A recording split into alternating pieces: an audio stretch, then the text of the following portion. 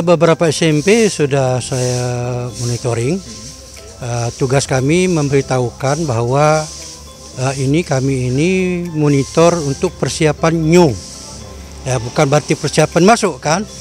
Kalau memang nanti uh, PSBB ini diperpanjang, maka anak-anak tetap dirumahkan belajar di rumah.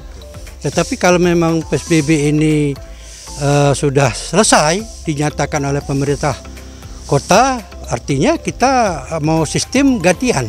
Anak masuk kelas 1A misalnya kan hari Senin, Rabu sama Jumat dia tuh sistem ganjil, absen ganjil.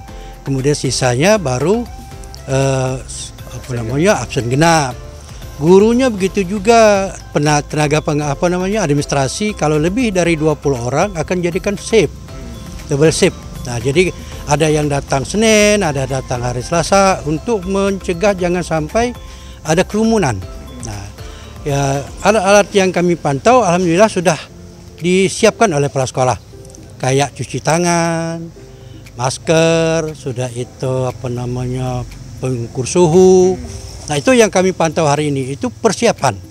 Jadi bukan kami uh, mendatangi sekolah itu uh, berapa murid yang hadir bukan. Ya. Sudah itu kami pantau juga tentang absen manual untuk guru-guru. Uh, untuk anak-anak juga harus ada absen seperti yang di tadi ya genap ganjil tadi supaya uh, mudah-mudahan COVID ini selesai. Iya. Kalaupun tidak selesai berarti ada kebijakan dari kepala dinas lagi nanti kan diberitahukan bagaimana sistem uh, pemengajaran berikutnya. Itu sesuai dengan uh, edaran dari Pak Kadin kemarin bahwa uh, kita melihat uh, ke depan apakah PSBB diperpanjang.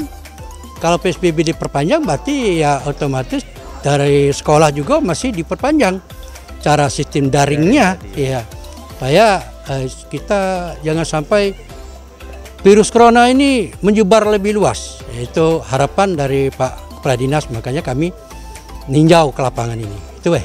Ya.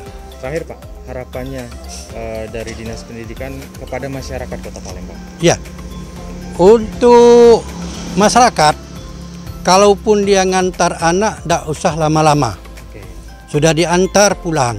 Begitu jemputnya juga juga jangan lama-lama Ah, kira-kira anak sudah pulang, anak keluar dia langsung naik motor atau mobil orang tuanya cepat pulang. Jangan sampai anak-anak kerumunan dan tolong dengan masyarakat dipermaklumlah kebijakan pemerintah ini demi untuk kita semua, bukan untuk golongan ya. Kalau Covid kita di Palembang selesai aman.